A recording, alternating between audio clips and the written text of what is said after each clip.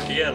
Uh, this time with a game between me and Niklas, uh, and we actually have a very, very short time for the introductions here because the game will soon be underway and it will be quite a quick game.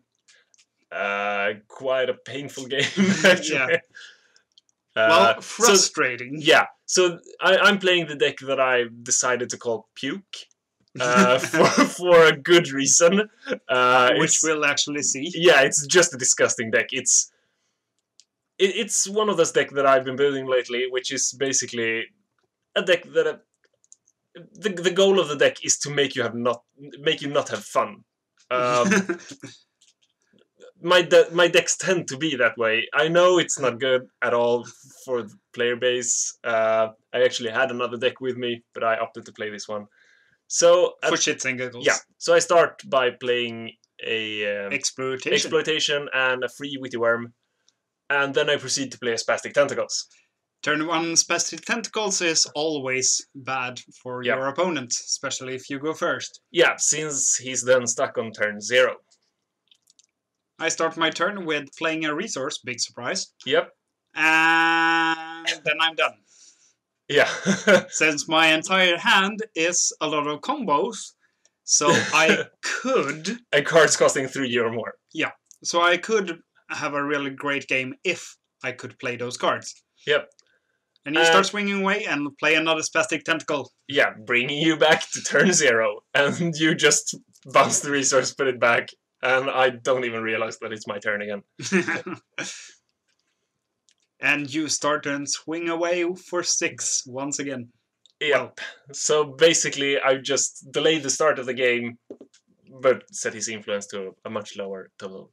than- And put Yep. three characters in play, and you play a Gilded Yurt. Yep. So now I'll be looking to reusing those spastic tentacles. At least now I get free resources, so I can play my uh, martial arts trainee. Yep. Which would have been so much better earlier, so I could actually block your witty worm or whatever and kill them. Yeah. So at the end of Niklas's turn, I yurt out one of the spastic tentacles. It comes back in and bounces a resource. So we're back at back at three. Yeah, it's just a stupid deck. So as you as you can see, we're into turn. Uh, what's the turn count? I think four. Yeah, And we're still at our starting resources. Yeah. So I attack in a party because uh, if he blocks, he. Oh, well, yeah, I can yurt out the Spastic Tentacles, which is the card I want to yurt out. Uh, if he doesn't block, I can still, uh, you know, hold back with my. others. Yeah, and block with uh, uh, the other Spastic Tentacles. So here's where things get interesting. Uh, I play a Department of Reactions, and Niklas, once again with three res- resources, plays his, um, uh, Martial his arts other trainee. martial arts trainee. So now, now he has two of them, which means that I can't overpower him if I want to yurt out character. Yeah, so we can't really uh, opt out to actually attack with all three of them in a party and still continue to yurt and keeping me at low resources. Yeah, I, bec- Which because I I'd, lo- I'd lose a turn of yurting, basically. Yeah, and Uh, also you know that if I get four resources, a Thief is going to hit the deck. Yeah, or Well, field. Well, it's it's possible that it, and I don't want to face a huge character. No. So I just pass the turn. Uh, so you're actually up to three resources once again, yes. and here I think we'll see one of the most weird plays of the game. Uh, I remember raising eyebrows over this. I didn't actually know what you were doing. No, okay, so it wasn't this. No, I Uh, think this I turn. did it uh, next turn. Yeah. So I draw a card at the end of the turn, uh, and I'll yurt the spastic tentacles. I'll pay free to draw a card since I actually want to do anything for my resources. Yeah, exactly. Because once the so the spastic tentacle comes back, you can't use those resources. and I start with, with Playing a resource. Yeah, exactly. surprise. uh, and still I can't really attack. I know Niklas can't really afford to attack either, since he's basically. At one resource. Yeah. Uh, so I top decked on other spastic tentacles, which is really really good for me. since he's now once again locked into turn zero. Hmm. Uh, he plays. Uh, there, there it comes. Uh, the tripole magnet. I have no idea why he did that. Uh, it's not like To I'm going to discard any cards. I'm guessing you just wanted to play cards. I wanted to play cards, and also since I know that I have two uh, in hand, uh, well, I had two resources, and I know that if I got my fired hand or a cock block or anything, I can get gears into the discard pile, and I can make one of my trainees much bigger. Yeah. So here's where I once again can attack. Uh, and I know that. Nick, because since Niklas is at one resource, I know that he he can't really uh, do anything, Yeah. Even if it. yeah, bec- because I have a uh, Ministry of Other Smaller Ministries out, so if he just devotes his whole turn to attacking, I can block with the Spastic Tentacles and just yard it in response. Uh, so he actually blocks with uh, the guys. I lose one Spastic Tentacles. Uh, Not that big of a deal at the moment. and another one uh, comes in, I guess. I'm just sorting my cards. Uh, I put it down under the yurt to permanently mark it as yurted. Uh, I think I drew a card at the start of. Yeah, My turn, so actually. as well. Yeah, because at this point, I the the cards, the resources doesn't even matter. Uh, I mean, Niklas can pay three to draw a card all he wants. Um, It's not gonna change that much. yeah, so I swing through with a lot of guys. and I need to block um, at least one character the next turn. And I don't actually get any characters to block Yeah. with, so I die. Yeah, so that's why the deck is called Puke. It's it, it, it can be a complete lockdown as it was in this game. Uh, otherwise, it's it's generally a deck that's very miserable miserable to play against. Uh, and I think we actually have a a rematch coming up. Yeah. Um, we'll get into that since it's only been seven and a half minutes uh, of this. We left the camera on and the other games weren't finished, so we thought, what hell? It's not like we took a long time, and Yeah. neither of our decks likes to go late. Yeah, well, my, my deck actually can handle going late game. Uh, since I- Apparently not, since you win after six minutes. yeah, but it's it, it, it can also be a, a lockdown deck. Uh, because basically I have I tend to build decks like that as well. I tend to have some early game and late game. I don't often go for mid game. Mid game is for, you know, people like you. Yeah, pro plays. so in, in this deck I also play the the boom spider combo. Uh, which I really like. yeah, I like the combo. well, Discard your it's- starting hands. but it's it's like once again it's just like a mean combo very very mean um I don't remember who won the role. I believe you did. yeah i think so Yeah. But this time I actually get a little more cards I can play on turn one. Uh, but since I now I also know what you play, since when I first f- saw that you played Double Arcanist, I thought, fine, he might have some discarding cards, so I'll play things that I'm fine with having in discard and other things. So I kept a few gears and such, but you started playing Greed yeah which I wasn't really prepared for. So yeah I, I i'm not usually a, a heavy greed player. I use the one splash a lot as you might have seen. Yeah, uh so here we see the good old turn one spastic tentacles.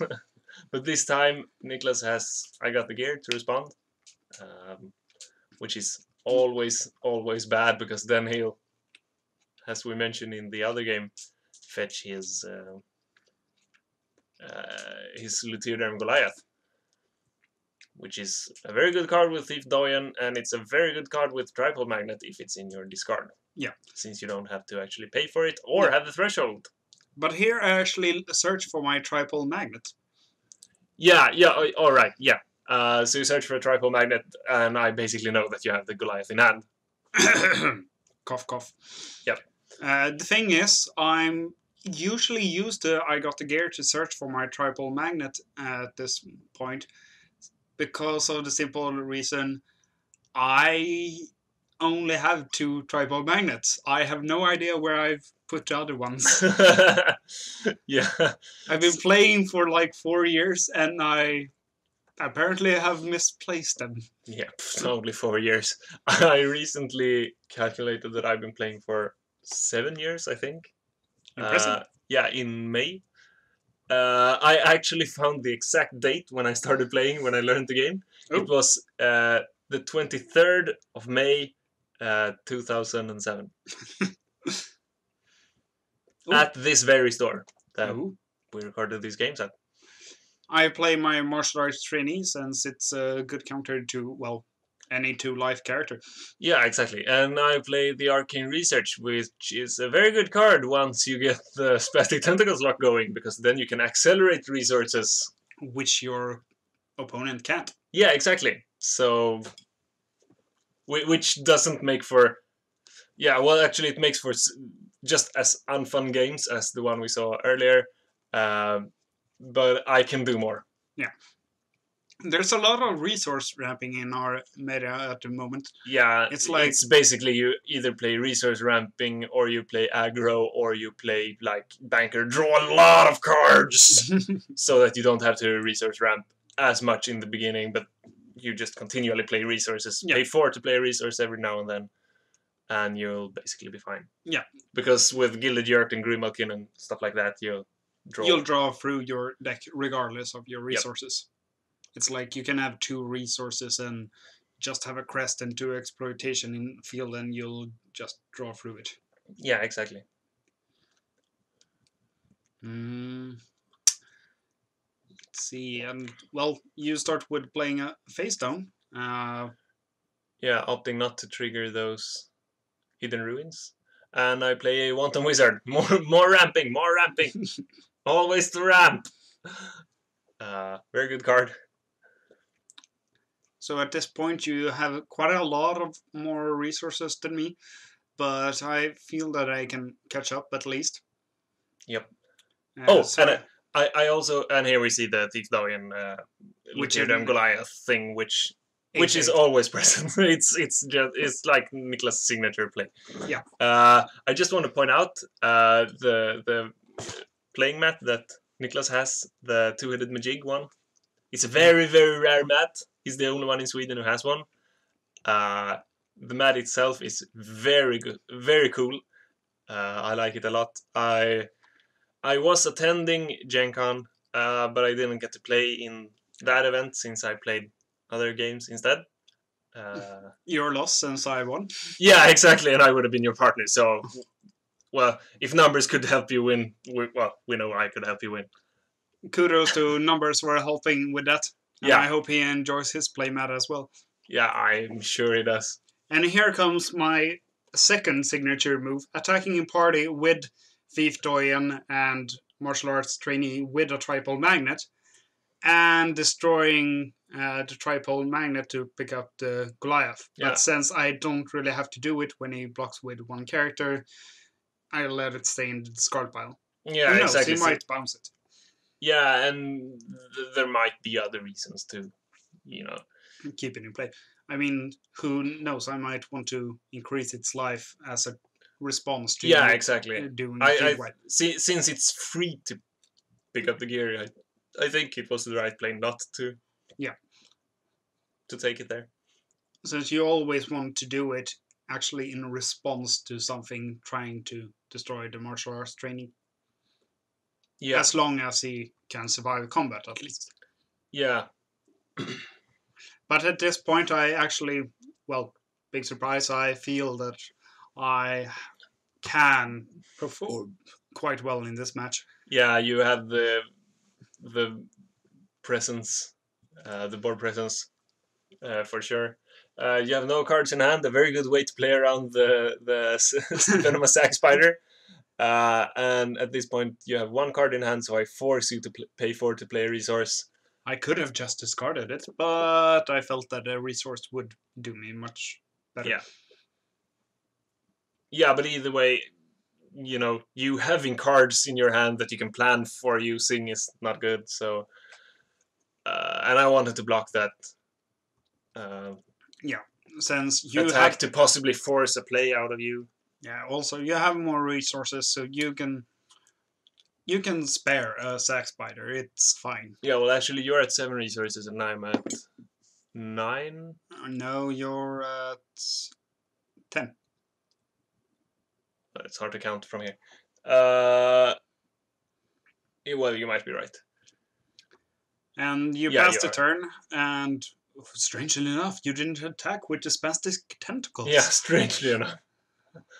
Uh, and I know if I get a, a strawberry or a hot pepper, I win. Uh, so I'm probably gonna start with drawing a card, uh, which I did, and then I draw another card, as we say there. Uh, but I didn't get my strawberry, and I didn't get my hot pepper. Uh, Yeah. So I just plain old attack. Yep. Uh, and I think Oh right, I actually like this play you did. Well, I, th- I think in in retrospect, I think I could have played this a lot better. You know, not not blocking and redirecting the damage to you. Uh, spoilers: there's a delectable boon co- coming up. uh, s- delectable boon is, I'm pretty sure, the second to best tactic in the game. Yeah. Uh, only Dark Awakening is better. Yeah, and since you have more than eight resources free, I sort of see it coming, so I blow up the tripod magnet because if uh, martial arts trainee only assigns two damage to uh, the spastic tentacle, it's not going to get more to assign when it goes down the speed class, and you have already said the next damage that goes to spastic goes to something else. So even if I blow up and get the Goliath, I wouldn't uh, get to actually inflict any of that damage. Yeah. So here I play the Delectable Boon, redirecting the next 8 damage uh, that the Spastic Tentacles takes back to the Thief Doyen. and thereby killing it. Yeah. And you take no damage. Yeah, but you still have the unpickable uh, guy with the, with the With 13 in strength. yeah, exactly. So I play Hidden Ruins, revealing. uh, Ministries of other smaller ministries. Yeah, just to draw a card. Which is a good way to actually spend those last uh, one or two free resources you have when you can't draw a card. Uh, Yep. And I start by drawing a card, I think. Yeah, since you need a character. Yeah, I need, I need something. I need an out to that. Uh, I'm not sure I actually play many outs. Uh, well, actually, the violating anomaly would have been one way to deal with it, since it can block and then bounce the uh, the Goliath. Yeah, exactly. Uh, but we didn't get to see any violating during this match. Yeah, it's actually I only play three violating anom- anomalies in this deck. I would play four, uh, but I only when when I built the deck, I just grabbed the foil ones I had, so I ended up with three uh, because I had my uncommons at uh, well, basically in another box, uh, and I was lazy. Yep. That tends to happen when we build decks. Like, Yeah, What Yeah. cards do I have lying around? Yeah, I'll build yeah. There, there's often your rares and foils are like, well, I'll take these. One time, or rather, the first time I built the mono monarchanist deck, it was when I realized that I have a lot of arcanist rares and a lot of arcanist foils. so I just threw them all together and built a deck from it. It kind of worked. Uh, I I continue to build up, build it, uh, uh, evol- evolving it into a much better deck than it was at first, at least. Uh, but it still wasn't. Good enough. But yeah. it performed. Yeah, I think it may have won one of our local tournaments, but you know that that, that doesn't say much. It depends very much on What on the week. play. Yeah, what people play. Sometimes pe- people play wacky decks. Sometimes they play like top tier decks. Yeah, it's different every week. Yeah, and you don't really know what to expect. No. Uh, I generally bring up one fun deck and one or, or, or or in this case this deck, Yeah. uh, and one a little bit more serious. Uh, I also had with me the uh, the Arcanist Warlord Deception Volition deck. What? Yep. Oh right, that one. Yeah, with It's actually quite good. yeah, I think I think it's good. I think it has potential, um, but I haven't really. I I Perfected it. yeah, I've played it in a few tournaments, but with, with decent success. Yeah, I was thinking about trying it out. Yeah, I, I, as I said, I think it might have potential. It's there. There are so many good synergies, and it has it, it can apply so much pressure early with the war beast and the assailants. Yeah. Uh, well, oh, uh, back to the game. Like it now actually has played two. Uh, uh, cares about the game? two ministries of other smaller ministries to well basically handle that I swing away for 13 each time I attack. Uh, but I pay four to actually try and attack one of them and destroy it. And Yep. you don't block, which I personally I would have blocked, but I can Yeah, well- understand why you didn't, since you just wanted me to attack them. well, the thing them. is, it's it's probably like two resources when you attack. Yeah. Uh, so I figured I'd rather have a blocker for when you attack my life points. Yeah. Since you can play more buildings. Yeah. and we have another venomous sack spider. It's I love that card so much. Yeah. And I played Dry Gulch on it since what's the, uh, I didn't really have any. Well, well, dry gulching a uh, spider is always good. Yeah, and I didn't have any reason to actually let her stay in play. Yeah. Uh, and we see me actually playing the Dwarvish Grimalkin, drawing cards. Standard banker play, as we mentioned. Shame mentioned on earlier. you! Shame on you! and I played Delicious Strawberries of Death, depleting his field. Uh, which then gives me the opportunity to attack its life point for 15 damage. Yeah, which you actually don't do. You attack the Department of Reactions. I pointed out that why can't you just attack my life points and be over with it? and I was like, oh, right. I could do that. Yep. and uh, since other.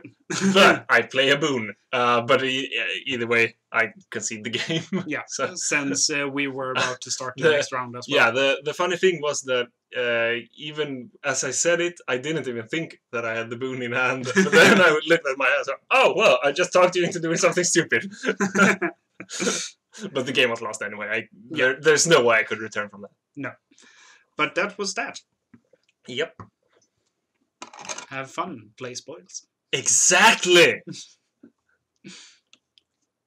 Stop the recording.